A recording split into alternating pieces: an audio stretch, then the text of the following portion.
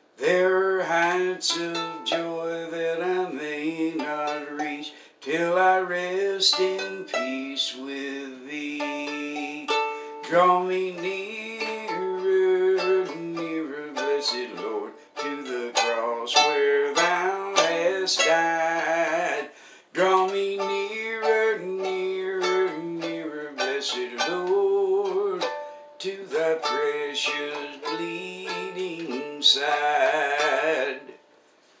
Draw me nearer, I am thine, O Lord. Great old Fanny Crosby song. She's my favorite. She wrote a bunch of my favorites. Let's pray. Heavenly Father, we're grateful to you for this time. Lord, we hear in the last few days that the plague is, is getting worse. But you're well aware of this, and your will will be done. And I submit to your will with all humility. Wish I understood better, but I don't have to understand, because you do. Lord, I know that there's people afraid out there. But you hadn't given us a spirit of fear.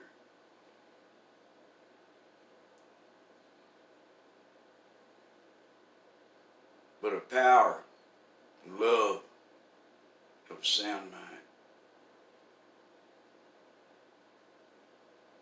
And as long as you're our shepherd,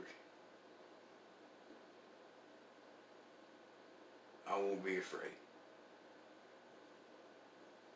We bless you, Lord, and ask for comfort. We ask for your guidance. We give you praise and thanksgiving in the name of Jesus. Amen. By now, many of you have uh, had a friend that had got sick. Maybe you had a friend that died or a family member.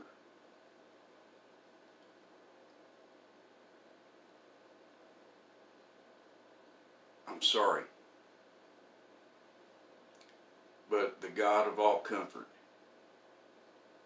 is with us, and you can call on him anytime. I wanted to talk a little bit about drawing nearer to the Lord and how it's not as easy as some folks might think. For some of us, especially me, it took a lot of times trying before I finally stuck. If you've ever tried to quit cigarettes, you probably didn't quit smoking the first time. You might have had to quit several times before it took. If you ever had to quit drinking, whew, I don't know how many times I quit before I finally quit. And you learn along the way. For many of us, following Jesus was more of a progression where we where we followed and fell behind and followed and fell behind. But we kept coming back. This is a story about a, a guy that came back. He just kept coming back. We first meet him when he's not even named. In Luke chapter 22. It says, Then came the day of unleavened bread when the Passover must be killed. And Jesus sent Peter and John, saying, Go and prepare us the Passover that we may eat. And they said unto him, Where wilt thou that we prepare? And he said unto them, Behold, when ye are entered into the city, there shall a man meet you, bearing a pitcher of water. Follow him into the house where he entereth in. And you shall say unto the goodman of the house, The master saith unto thee, Where is the guest chamber that I shall eat the Passover with my disciples. And he shall show you a large upper room furnished. There make ready. And they went and found as he had said, and they made ready for the Passover. So there was a young man, it just says there was a man, but they took him to the good man of the house, the older man. And this young man was John Mark, because the house that they went to, where they eventually had the Passover meal became famous as the Upper Room, which was owned by Mark's mother and her brother, who later was with the apostles. His name was Barnabas. But they're not named yet, they're named later. Then another, next time we see this young man, uh, he is, uh, we find him in the garden with Jesus when the soldiers came and took him.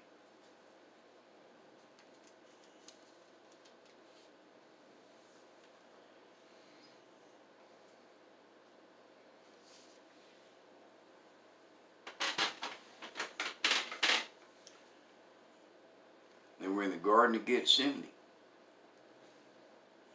The soldiers came, and it says, they all forsook him and fled, all the disciples. And looky here, it says, And there followed him a certain young man. He obviously wasn't a regular because it said the disciples had left him. There followed him a certain young man having a linen cloth cast about his naked body. And the young men laid hold on him, and he left the linen cloth and fled from them naked. He was scared. He ran away. We can't blame him for deserting Jesus here because everybody else deserted him. But it says that there was a young man that followed them. Where did he follow them from? He followed them from the house where they had the Passover meal. And this is John Mark, this account of this young man fleeing naked. It also, you know, tells me that, you know, if you're going to get arrested, you probably need to wear more clothes because you know, you might get cold in the he just had like a linen cloth around him and they, it's like uh, when the disciples and Jesus left the upper room in the middle of the night, this boy woke up and he just wrapped his wrapped his blanket or his sheet around him and, and went off and followed them, wanted to find out what they were doing. this is John Mark. This is Mark. It only appears in the Gospel of Mark. It doesn't appear anywhere else. And uh, how would he have known such an intimate detail if it wasn't there? Now, granted, the Holy Ghost could have told him about it and he could have written it down, but uh, it's not shared by any of the other New Testament writers. Only Mark. He ran away. But look here. He came back. In those days, Peter stood up in the midst of the disciples and said the number of names together were about 120. They were all together they continued in one accord in prayer uh, with women and Mary, the mother of Jesus, and with his bedroom, with his brethren. And they were in the upper room, according to verse 13. There was about 120 of them. He's not named there, but he obviously came back and was among them. Then we find out in Acts chapter 12, he finally gets a name. Because we're returning to the same place, the same house, the same upper room, the same people.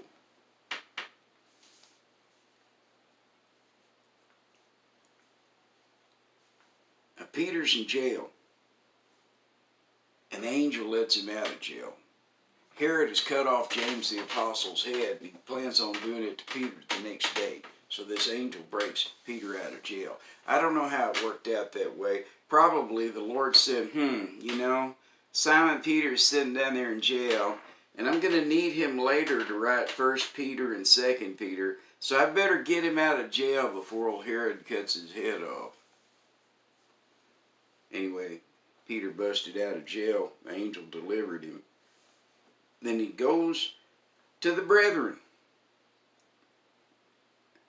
He goes to the brethren. And when he had considered the thing, he came to the house of Mary, the mother of John, whose surname was Mark, where many were gathered and praying.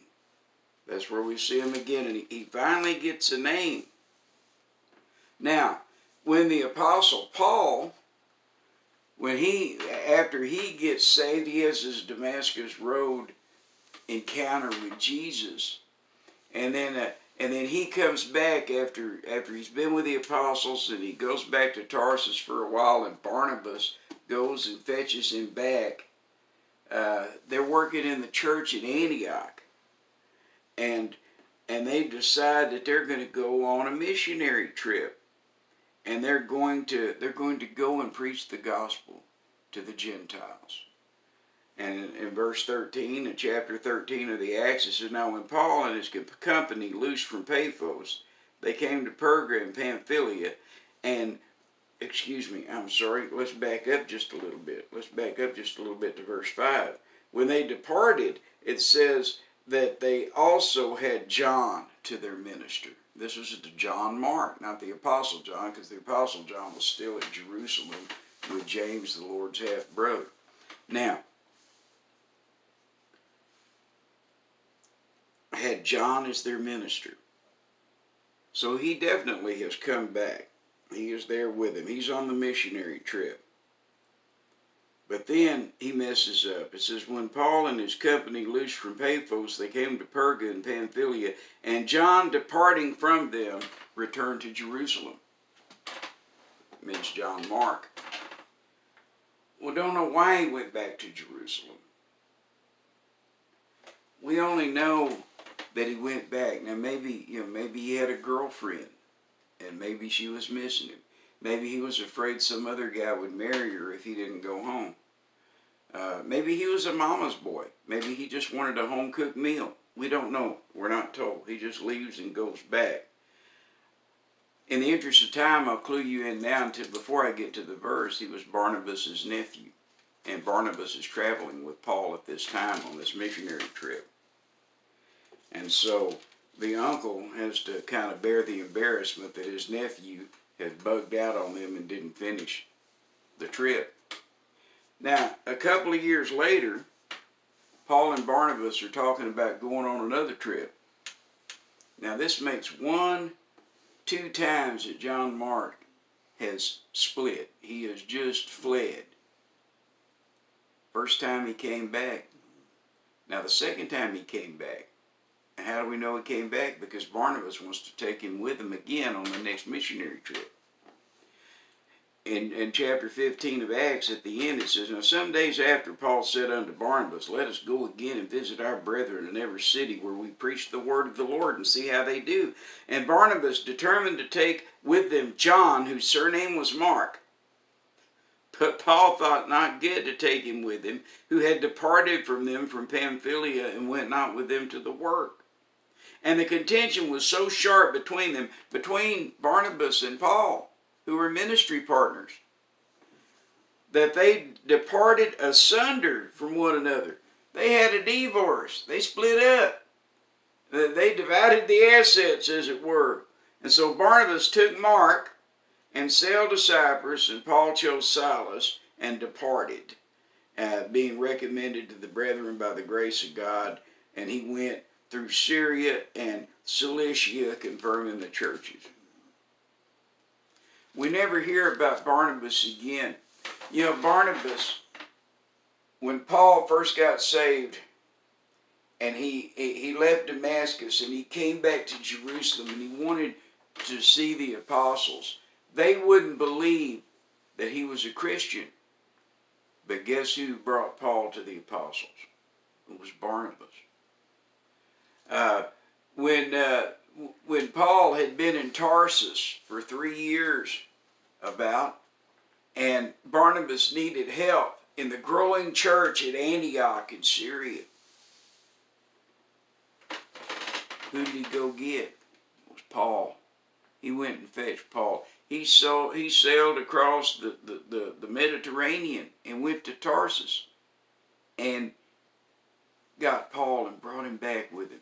And they worked together in that church on the very first missionary trip that we have a record of that Paul took to the Gentiles.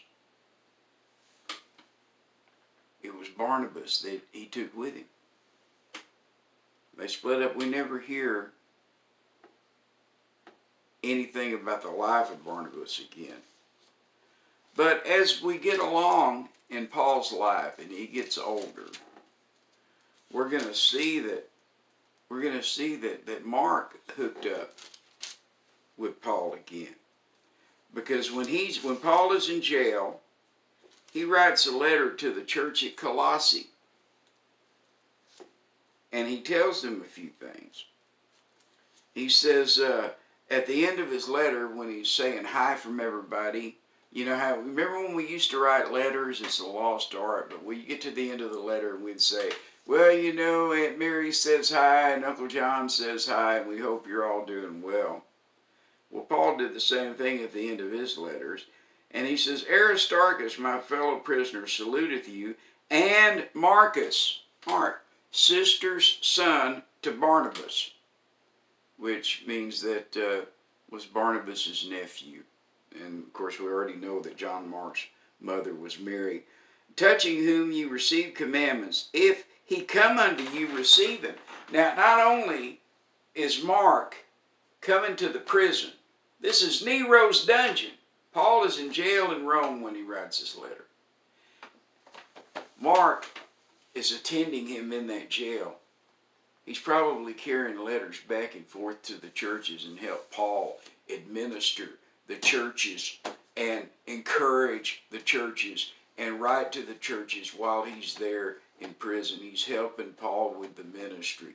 Not only is he there helping Paul with the ministry, Paul writes in the letter, he says, Now, if he comes to you, receive him, because it'll be the same thing as if I came. Uh, I, am using Mark. This was the same guy that he wouldn't take with him on the missionary journey 15 plus years before because, uh, and, and the split was, the, the, the contention was so bad that he split with Barnabas over it, Mark's uncle. So we know he's come back again. He left, he came back, he left, he came back. And now not only has he come back, he's come back to his original father in the faith, his original teacher, his original mentor, the Apostle Paul. And Paul is saying, if he comes, receive him. He's here with me. That's not all. He writes another letter to Philemon. Now, Philemon, li- uh, Philemon lived in Colossae, and this was probably written at the same time that the letter to the Colossians was written. But at the end of the letter, he does it again. When he writes to Philemon, he says, Marcus and Aristarchus and Demas and Lucas, my fellow laborers, they, they all salute you. Marcus is one of them. These last letters, see, whenever he wrote a letter, he mentioned Mark. Paul knew he was going to die soon, and he wanted people to know that Mark was with him. He left and he came back. He left and he came back. He left with Uncle Barnabas and he finally came back to Paul. We don't know what happened to Barnabas. But Mark kept coming back. And Paul began to use him, and not only use him, but to recommend him and endorse him. This is a guy with a water pitcher 30 years before, 35 years before, outside the upper room where Jesus had the last Passover meal and instituted the Lord's Supper. This is the same Mark that was in the garden, wrapped up in a bed sheet, and ran away naked because everybody else ran away from Jesus. It's the same Mark that left the work in Pamphylia. It was the same Mark that caused the split between Barnabas and Paul. But he came back. He just kept coming back. Did he come back because of Paul? No, he came back because of Jesus. And what Paul happened is Paul recognized that Jesus was using Mark in the work. He realized he used him with Barnabas. He realized that he had used him in the years in between, and Mark had become such a minister of the gospel that he took notice of Mark, and Paul brought him into his inner circle there at the end when he was in Nero's dungeon. I would take that endorsement any day. And the last letter that Paul wrote that we know about, he wrote to Timothy, 2 Timothy. And at the end of the letter, he's saying to Timothy, Do thy diligence to come shortly unto me. For Demas hath forsaken me, having loved this present world, and has departed unto Thessalonica, Crescens to Galatia, Titus to Dalmatia. Only Luke is with me.